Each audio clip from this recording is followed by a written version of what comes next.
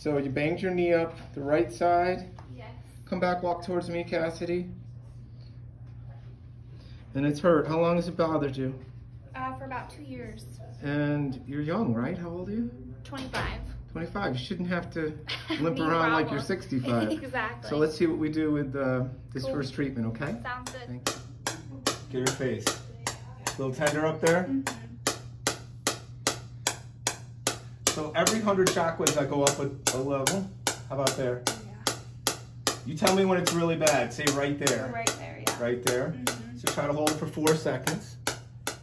Okay, we're with Cassidy. She just got her right knee done with the orthotripsy or what the nickname of the stem cell machine. All right, let's see how you're doing. Jump on up and you're gonna walk down the hall. It's kind of weird. We're catching your first emotions.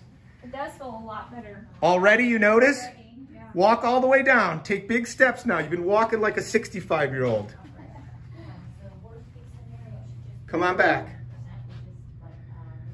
You're walking better. Do you notice that? hmm I Isn't- can feel it when I walk too. It feels, Less pain, right? yeah. hmm What do you think? It's awesome.